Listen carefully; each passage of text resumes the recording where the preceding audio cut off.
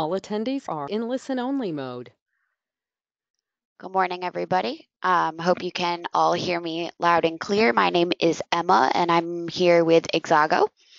Um, we are going to get started at about 11:02. I just wanted to let you know that we are here and ready. Um, so there's some names still still checking in here, so we're just waiting for uh, for everybody to get in and get settled. So we will aim to get started, as I said, at about 11:02.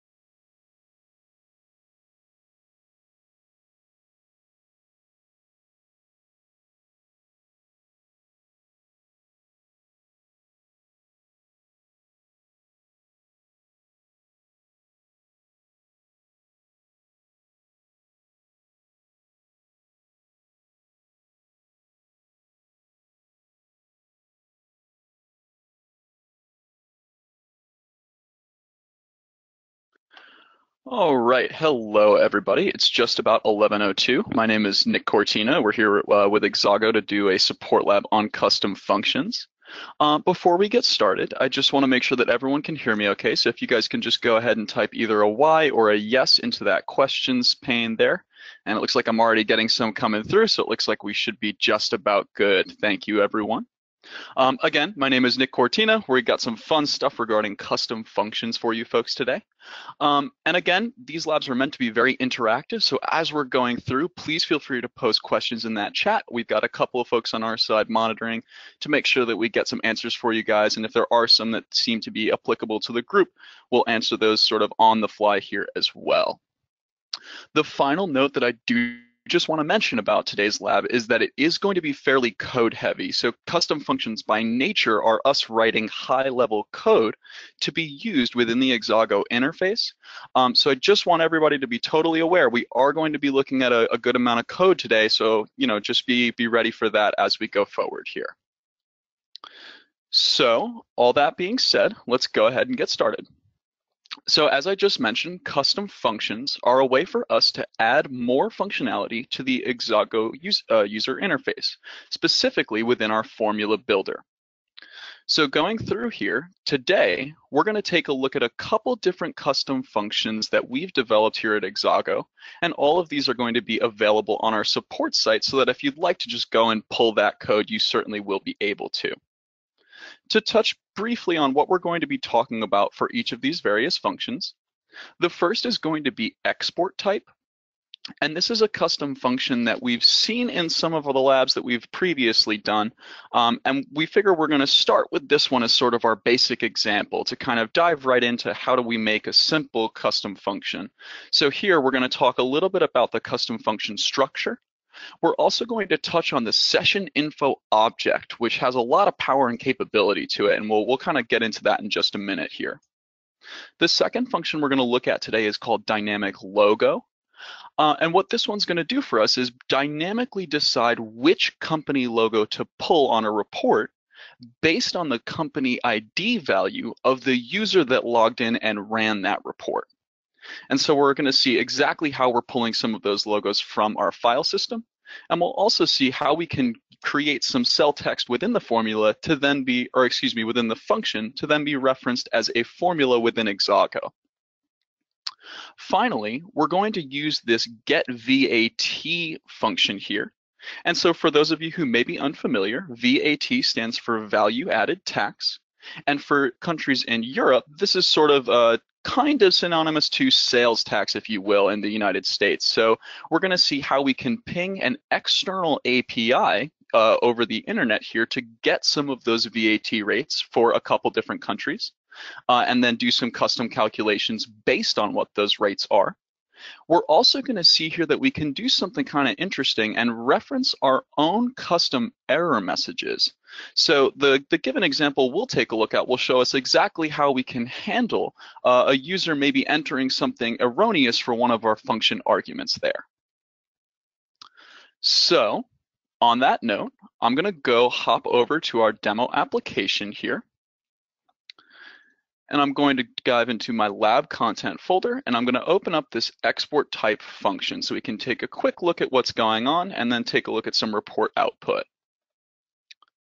So here we can see that we've got some basic employee information. We can see that we're calculating some revenue numbers here, and then we're going to chart that information as well. Now, I think the key thing that I'd like to, to show to you guys here is that we're using a lot of conditional formatting. We can see that by these little, uh, these little A icons here. So if I click into one of these, we're gonna see that we're conditionally choosing to suppress rows and diving into the actual function here, we can see we're using the export type function and we're going to say that if this isn't HTML, so if we're not trying to run this report in HTML, we're not going to display that chart. Additionally, looking at some of the rows above here, we can see that we're doing something that's almost identical, except this time we're going to suppress if it is going to HTML. So effectively what we're going to be doing is showing our chart if we're in, in interactive HTML and showing our tabular information if we're in any other export type. So we'll go ahead and execute this report. And as this goes out to our interactive HTML, we can go ahead and see just the chart being displayed. And if we were to go ahead and execute this as a PDF, we're going to now see just the tabular information coming through. And if I scroll all the way to the bottom here, we can see that chart doesn't show up. And again, this should seem pretty familiar for any of you folks who were here for what I believe was our conditional formatting lab just a little while ago. So we know what the function does, and that's great, but let's take a look over at our admin console here to see exactly what's going on and how we implement this custom function. So here on my left-hand side, you can see that I've got a whole host of these guys that, that we've been cooking up and working on here, right? Now, to add a new custom function, we simply right-click on our functions here, and we'll click Add. And this will open up a brand new screen for us. We can see it's just a new custom function, and it's sort of a blank template for us to fill out. Now, in this instance, I've already got this export type function built. So let's go ahead and take a look here. We've got our name, export type, and we could see that that's going to be synonymous with what we see when we go to actually use the function within the formula builder in Exago. The next piece here is our description. Now, you'll notice that here, I don't actually have a description for this function set just yet.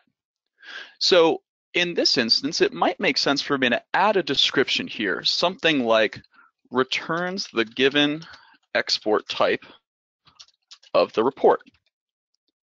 And these descriptions are going to show up in the formula editor when we go and select a given function for use to build those formulas.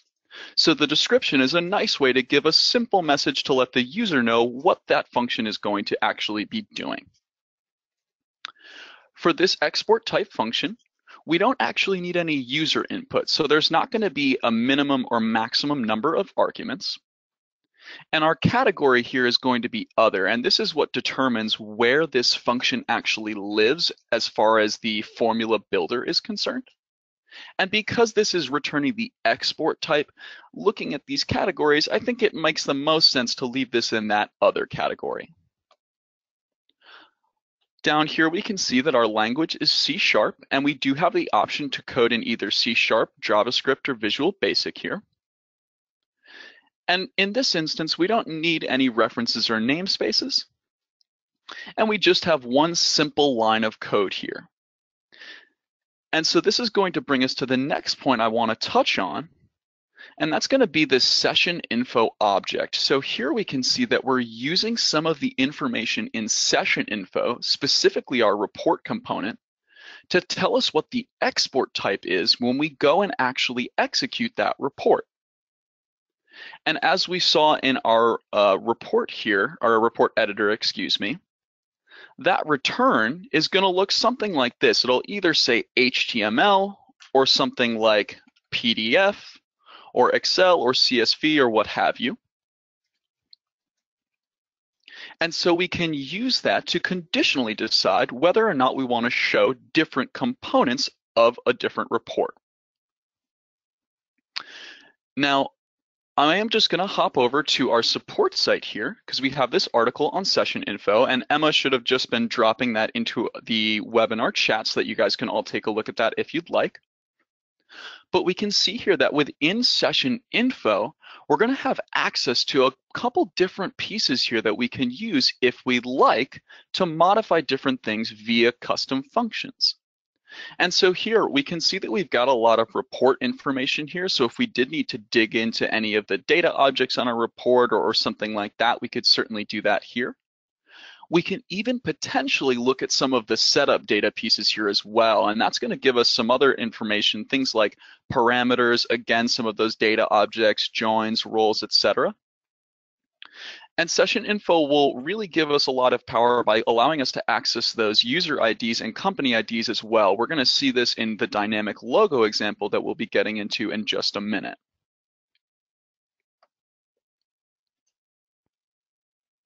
So at this point, I'm going to pause for just a minute. I know that this one is uh, a little bit of review since we have seen this function already, but I just want to make sure that we're, we're hitting all questions and make sure that we're okay there and it looks like we are currently okay. Um, and so if that's the case, I'm gonna hop into our next example here.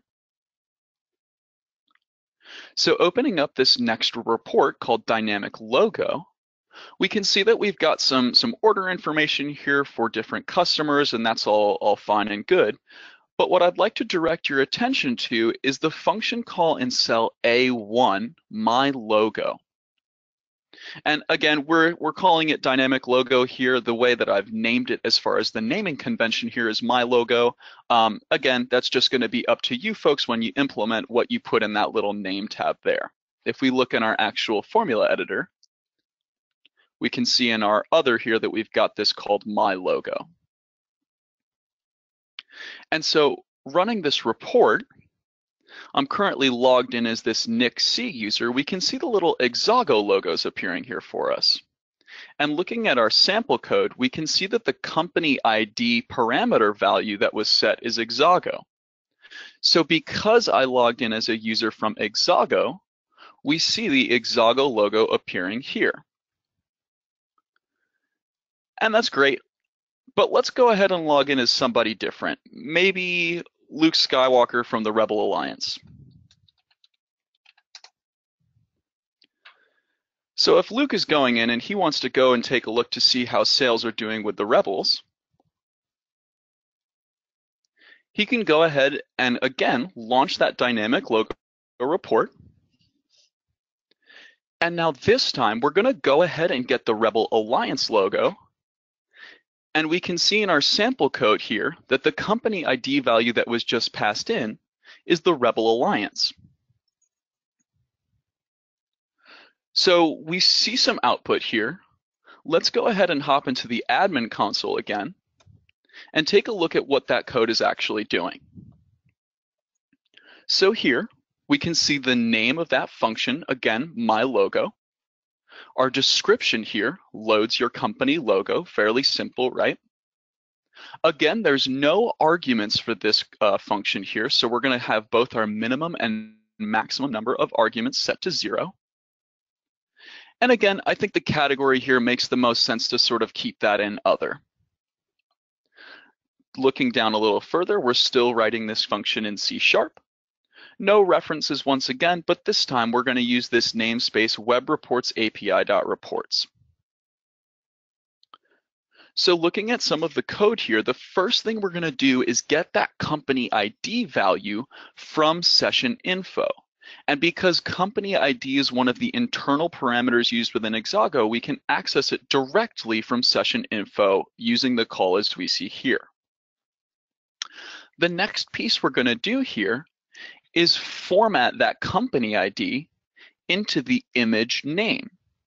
So all of our image names that we're using for those different logos are going to follow this same naming convention, logo underscore the company name dot png. The next piece we're going to do here is create the actual text for the formula that we're going to push to that cell. And here what we're really doing is using a string dot format to take the image name that we created on line five here and push that into a call to the base Exago function load image. And what our load image function does by default is goes and takes the name of an image that you give it, finds said image, and displays it on a report.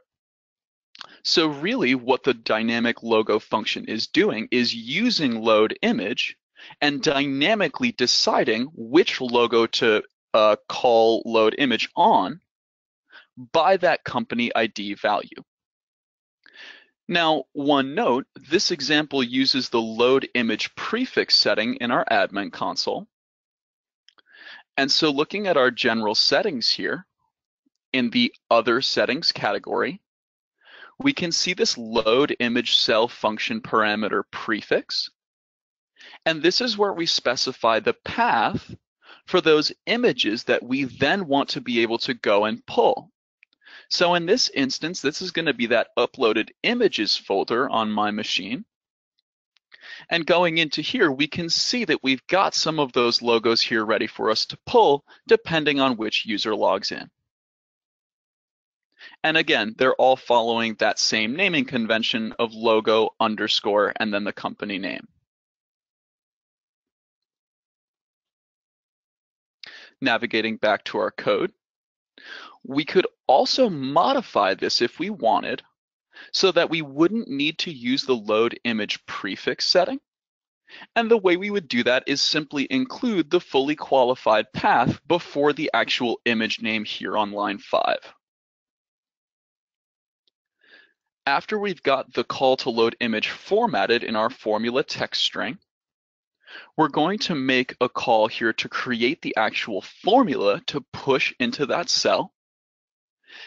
And again, in order to do that, we're doing a call to create formula.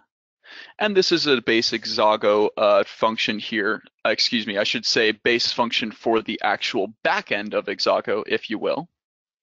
And so this function is going to need to take the page info from session info, the text for the formula, which is that string we created here on line eight, and then we've got our cell variable collection filter, which is really just an enumerator. And we use data field to say that this is just going to be a standard Exago function. Finally, we're going to return that formula we created and tell it to evaluate. And what that'll do is take that cell that we created and pushed our new formula into and evaluate it the same way we would any other Exago formula that we created from within the UI.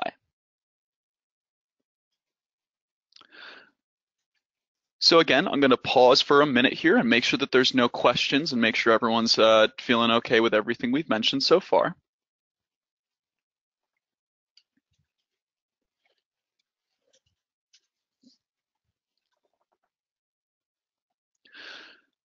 And it looks like we're still going all, right here. So I'm going to hop back over and um, unfortunately, Luke is done for the day. So we're going to log back in as my standard login here.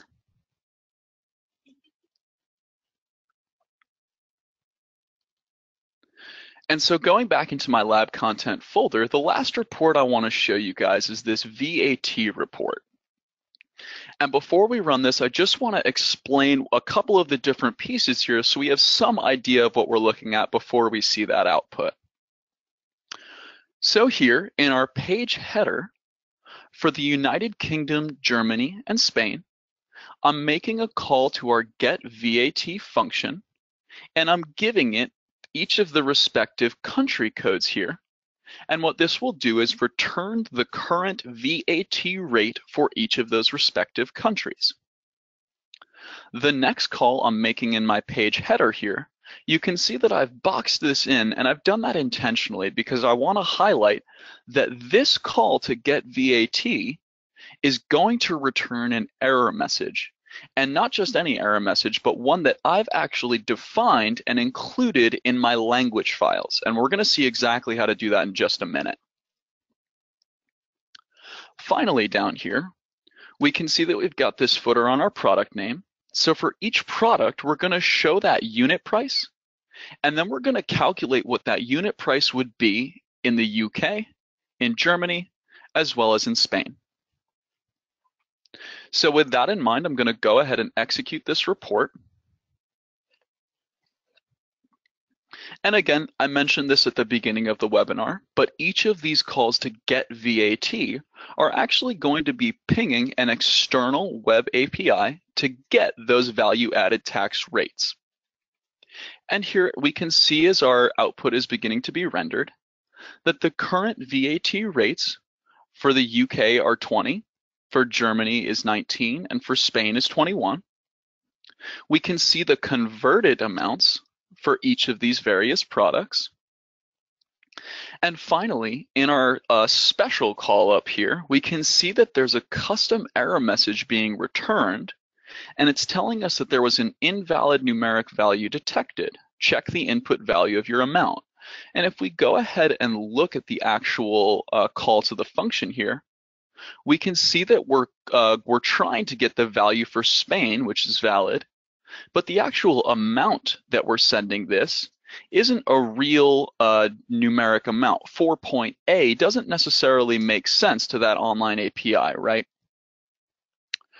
So on that note, let's take a look at exactly how, how this function is coded and where all this, all, all these various pieces are actually coming from. So I'm going to go back to our admin console here.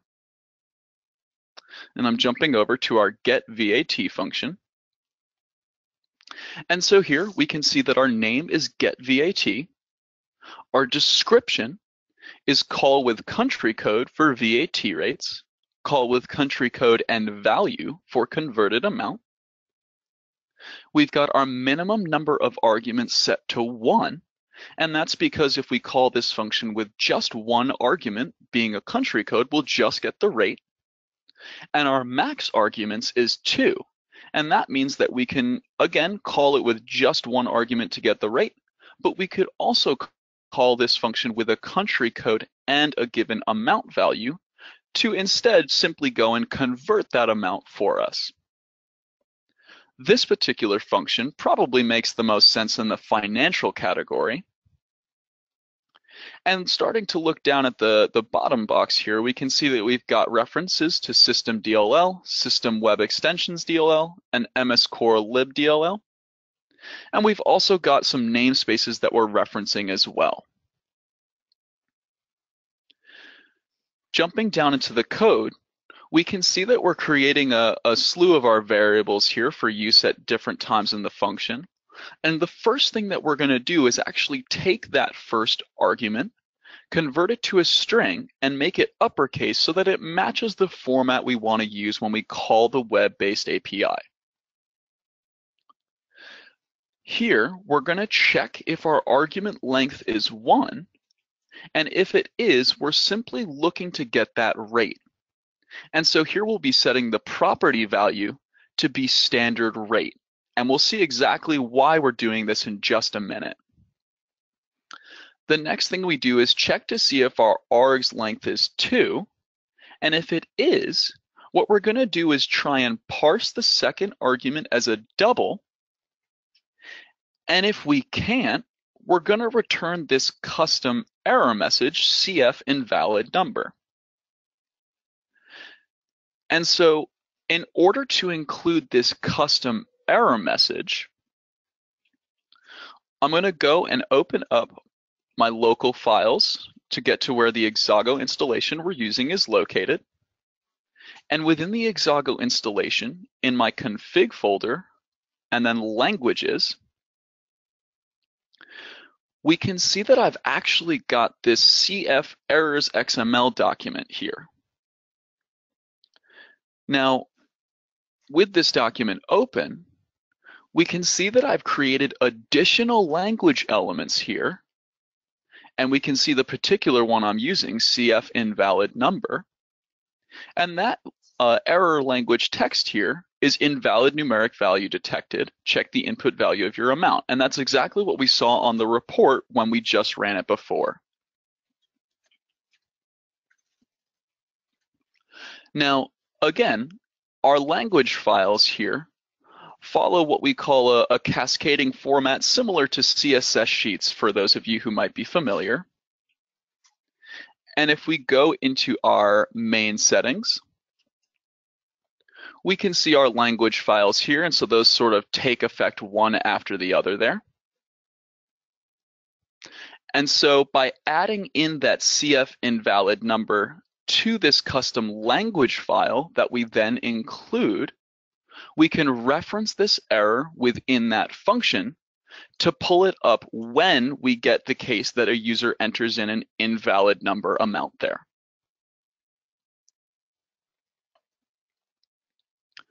Again, if we have two arguments here, the property that we want returned isn't going to be the standard rate anymore, but the actual result of the calculation. And so at this point, we're getting to where we're actually going to format our URL here with this string. And we can see that I've got this, uh, this little URL here. And this is just a simple online API that will get those VAT rates and perform this calculation for us. And here we can see that we're going to push the country code into the first position here, and then move the actual amount value into the second position. So to give you guys an idea of what that's actually going to do, here we can see that URL, and I've used Germany's country code here, and a value amount of 70. And here we can see that this returns a simple JSON packet that gives us our result, the VAT that was applied, and the standard rate for that actual VAT. So when this JSON's returned to us, we actually have to go and use this web client to download that string from the URL, and that will be stored in this response string variable. We'll then use a JavaScript serializer to take that response string and push it into this JSON dictionary that we made on line 31 here. Once the Java, or excuse me, once the JSON has been serialized, we can go and get the specific property that we're looking for. And if that argument length is one, that's just going to be the standard rate because we were just going to be looking for that actual VAT value. If we have two arguments, that's going to be the result, which is the actual converted amount that we saw in the packet here.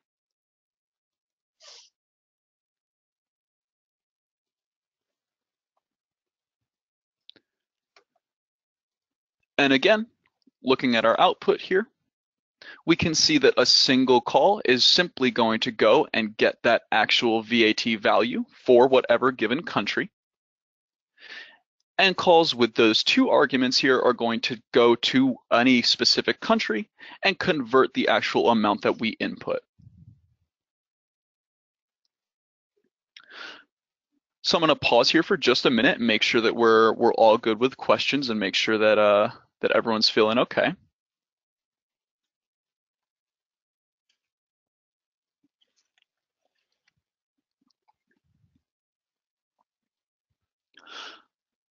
Um, and this is going to be the last example that we're showing today. So I do just want to mention um, that all of these functions are going to be up on our support site.